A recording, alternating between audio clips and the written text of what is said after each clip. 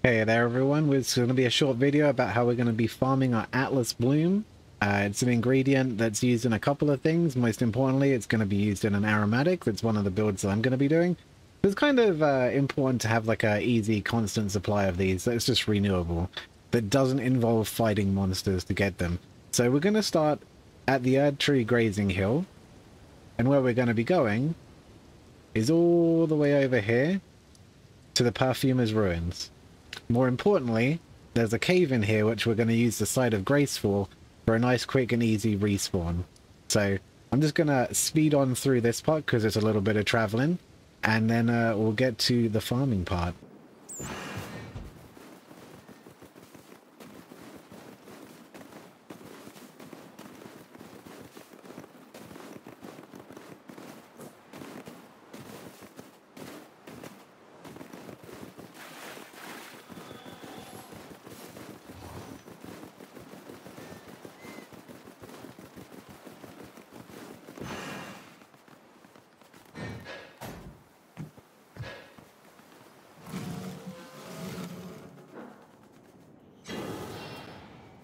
Alright, so here we are at the Unsightly Catacombs, the place where we're going to use the uh, the Grace Point to constantly respawn, so we can farm our materials.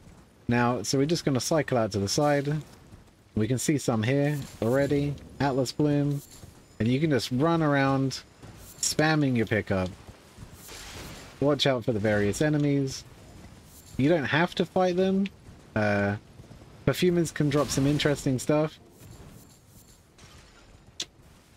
And, I don't know, if you want to take your time, you definitely can. I wouldn't spend too much time on it.